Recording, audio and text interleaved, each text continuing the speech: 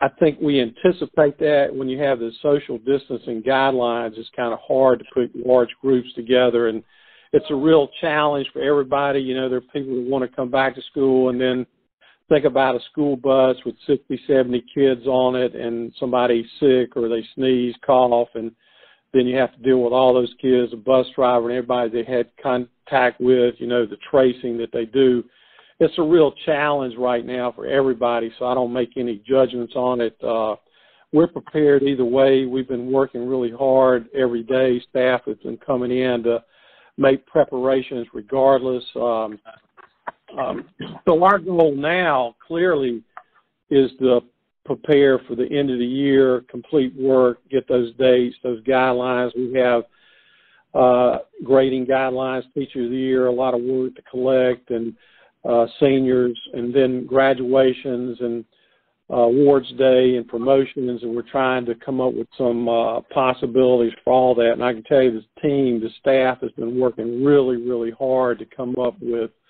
um, options for us. Well, do you think there's a possibility of, you know, live in-person graduation ceremonies? Well, a lot of things would have to change for that to take place, and uh, I think some of that may be delayed. We're we're planning, and what I'm going to do is we're meeting right now. We have a variety of options, and some of those come from parents. You know, we're very receptive to listening to what the suggestions they have on Facebook and different things, and we're going to push those out to seniors next week to get their input on some of those. And um, there's some challenges with large groups right now, but you know, who's to say we don't come back and have something in July where we have an in-person ceremony, a celebration, uh, maybe in the stadium. And, you know, I wouldn't rule that out right now, but I, I do think a lot of things have to change with regard to opening up. Um, but, you know, it's just a lot of questions that can't be answered at this time. How has the, uh, you know, the e-learning been going? Do you think it's work, been successful? And is it, you know, do you have to make any changes between now and the end of this school year? Well, we've made adjustments along and along. I, I think uh, certainly it's difficult to reach everybody, and we'll have to take some of that into consideration.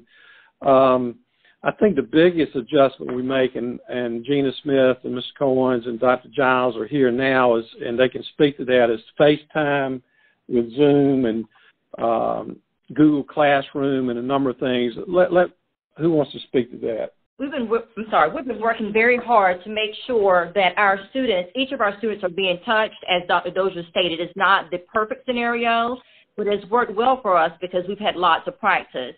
Um, we've made it where it is an expectation for each of our teachers to weekly um, conduct um, a virtual setting, whether it's um, Zoom or Google Meet, just to make sure that the kids are understanding the assignments and allow them to ask any questions that are necessary.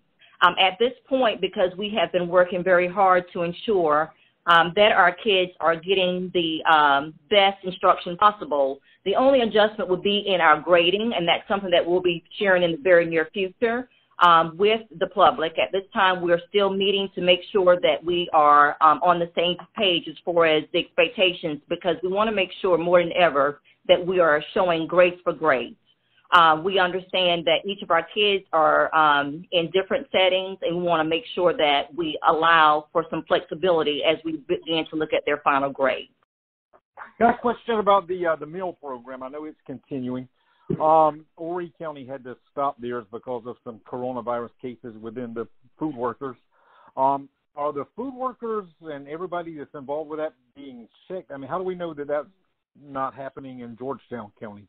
Well, that's an interesting question, and you know, my priority as superintendent has always been health and safety of of students, but also employees, and um, we've done a variety of things with those. Uh, first, we have protective gear, mask, and uh, gloves, and masks were hard to come by. Scott, I had to call in a favor or two to get some masks, but uh, our nurses started this week um, at all food service sites, uh, meeting with those employees, checking temperatures and that type of thing. And, and I wouldn't be surprised if we do that with other employees. But we've asked employees from the beginning if you're sick or ill or somebody in your family is sick or ill or if you have a temperature. Unfortunately, my routine now, Scott, is when I get up in the morning, check my temperature and in the evening too to make sure I don't have any issues. But you know, you could still possibly be asymptomatic, I guess. And uh, but we're doing the best we can. And fortunately for Georgetown, our numbers have been relatively low, and I don't I don't want to jinx that or anything, but um, we haven't had, to my knowledge, and I ask that question a lot.